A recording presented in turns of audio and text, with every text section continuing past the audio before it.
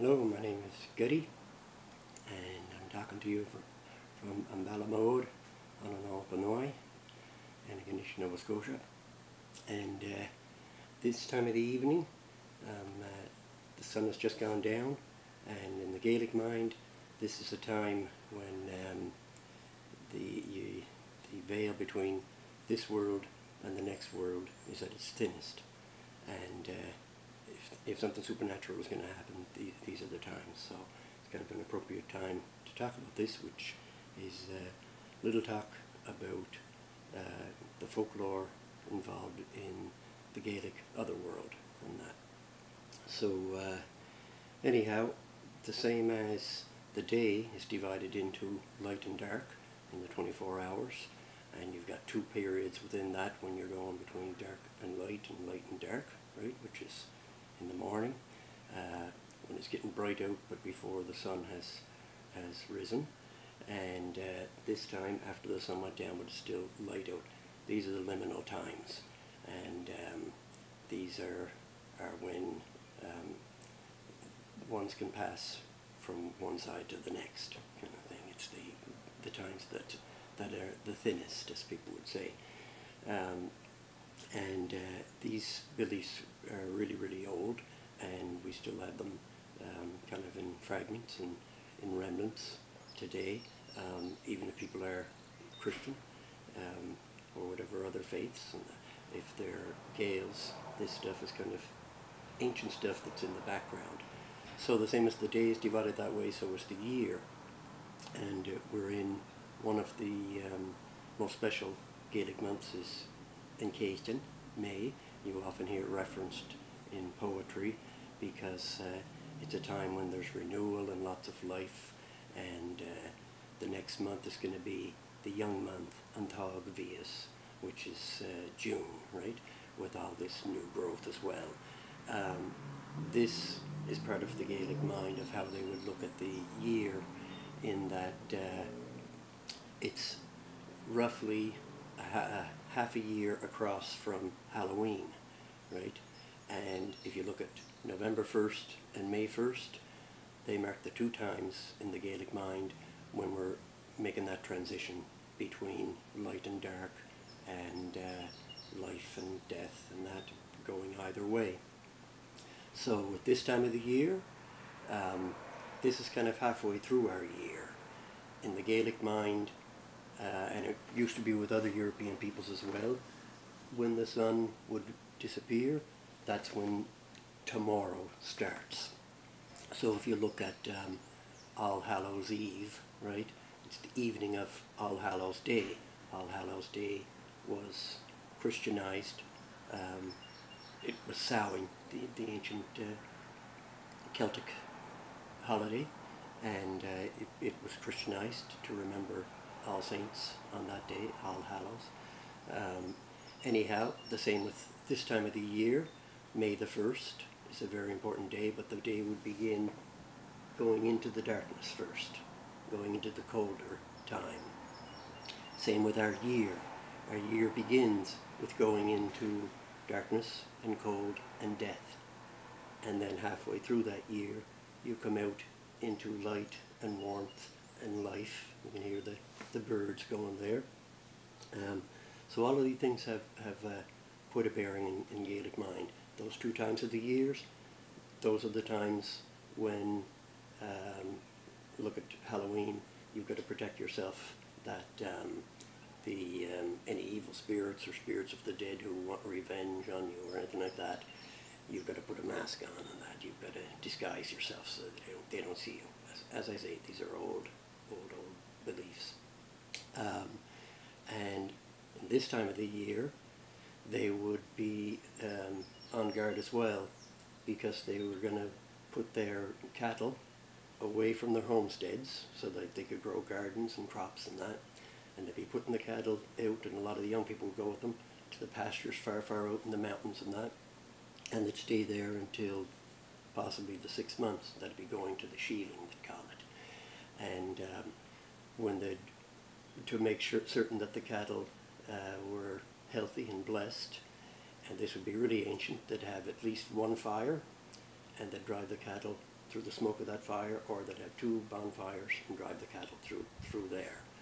Um, uh, retention of that, uh, of the intention of that, you'd find in Gaelic Nova Scotia among Catholic communities and in Catholic tradition that on the morning of May the 1st, May Day, Wapui the lucky day of, of uh, May, um, Catholics would go around with holy water and bless all the rooms in their house, bless each other, bless around the homes, bless new buildings, bless all the animals, except for the pig for, for uh, Gaelic reasons and that. Um, and that would be ancient in beliefs as well. Um, anyhow, what are these things on the other side? And what, what are these things that in some places, in some houses, with some individuals in that, um, where the veil is thinner and that? Well, uh, all kinds of people have their own beliefs of, of uh, monsters and, uh, and supernatural creatures and that, and the Gaels are no exception.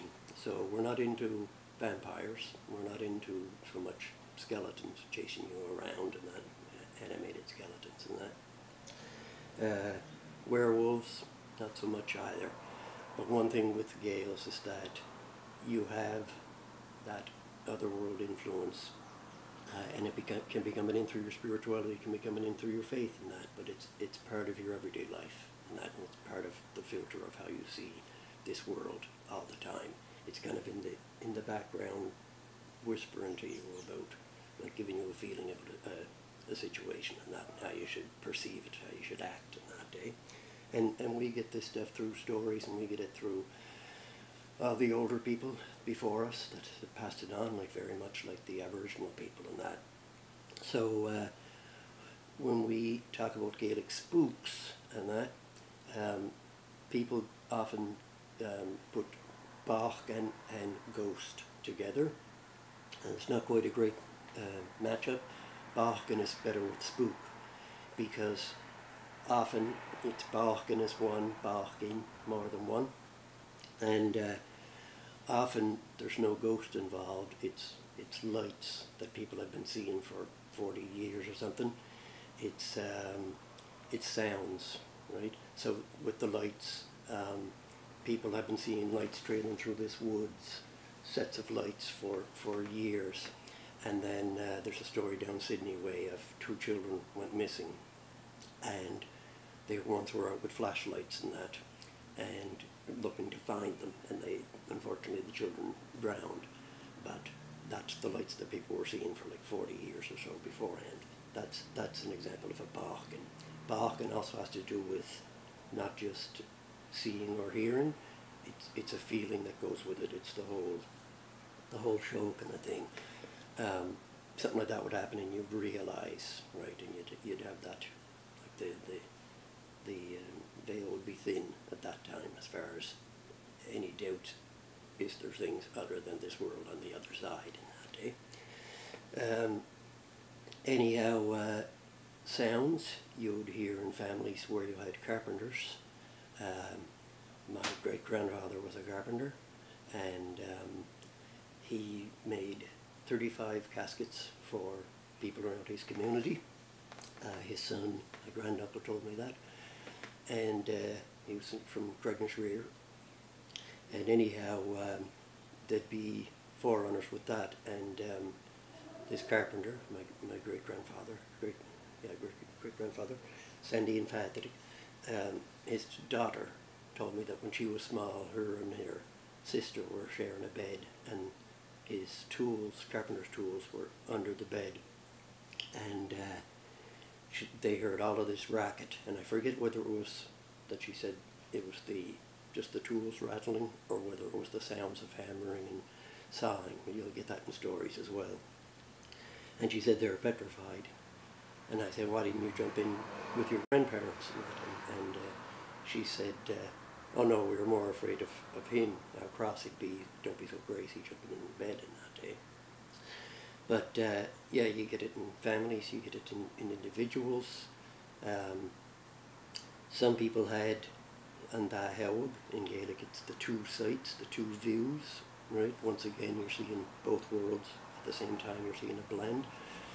and that runs in in, in uh, individuals, and that in, supposedly can be passed on from individual to individual. I'm not being is going to go on the internet. I'm not going to say how and that, and not and not that I have any personal experience, um, but I do have personal experience with um, uh, the the Gaelic otherworld and that. It's hard not to believe it if, if you've experienced some things yourself and that. And especially when it was uh, very honest people who were telling you about that. Um, so back to the Bòcan, um, it might be that they're hearing something at the same time every evening within a house, somebody walking upstairs or something like that, when they know there's nobody there. Um, lights on in a house when people aren't living there on that day. Now, so you get lots of stories when we were growing up. There's lots of stories of, of Andrachid, the bad fellow, um, being around, and uh, you'd, you'd be careful that you'd keep up in your prayers and go to confession and, and, uh, and walk the straight line kind of thing, because uh, the, the bad ones would be waiting close close by enough. And, and we grew up, honest to God, after hearing stories and all that, that we were worried going out on our own at night of it, ghosts and of the bad fellow we're not supposed to be saying his name in that day.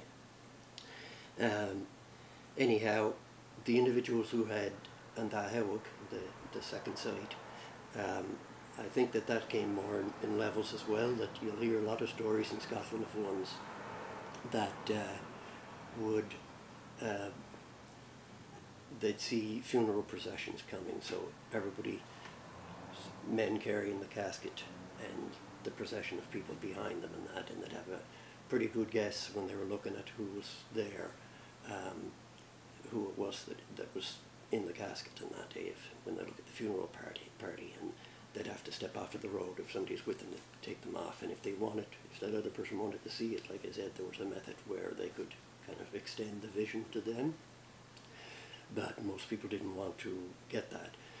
Um, over here, you, you hear less of that, although I did hear of a gentleman from my community, Ian Mordvik of McKechan, um, that he I, I obviously would see the Tower, he'd see the funeral processions and that. So he's he's um, a gentleman who would have been old, probably in the 30s maybe or something, uh, 30s or 40s, and uh, and he was seeing the funeral processions and that you got to realise in our traditions they're very much like you'd get in um, in Scotland and Ireland and that. Um, I'm going to leave it there for this evening and maybe tomorrow evening around the same time we can get back and talk a bit more or maybe it'll be early at this time but um, I'm planning on giving you a few stories and examples of, of the Gaelic otherworld and um, hope you enjoy.